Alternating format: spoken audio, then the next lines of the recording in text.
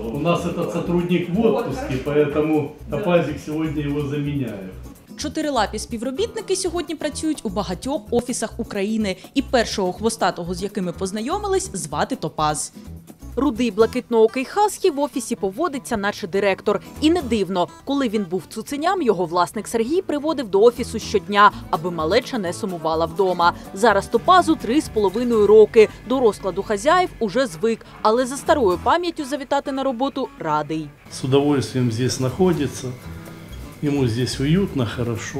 Знает, как, куда идти. Он, я его без поводка отпустил. Говорю, идем на работу. Он собрался и побежал. Світлана, дружина Сергія, його колега і також власниця Топаза. Каже, їхній собака навіть найпохмурішій людині подарує посмішку. Люди наши улыбаются, и я думаю, что ну, такая собака и другие собаки, они делают э, ну, отношения наши лучше. Люди становятся добрее, и это очень хорошо. Сусіди на ввічливого та спокійного пса не скаржаться.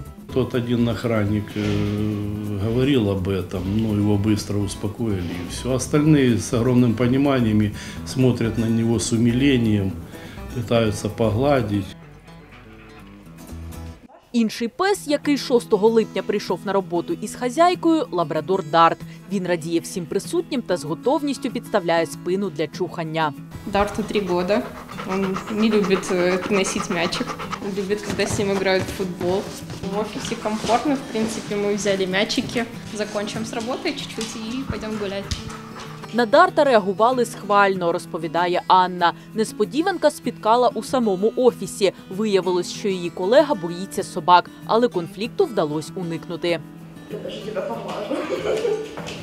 Кто-то может идти на уступки, кому-то сложно идти на уступки. Я, например, могу идти на уступки, и как бы мне не составило большого труда привыкнуть к этой собаке, поэтому все хорошо.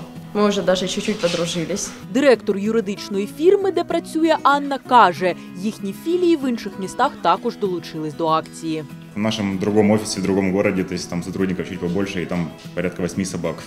Поэтому это как э, определенный тимбилдинг, и люди с животными более добрые и нежные, наверное, чем с людьми.